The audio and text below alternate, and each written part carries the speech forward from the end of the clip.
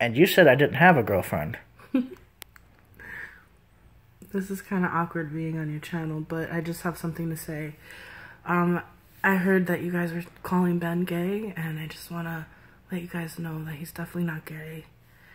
And, um, he's here with me in Florida, and we're having a great time, and uh, just enjoying each other's company, and it's been so much fun.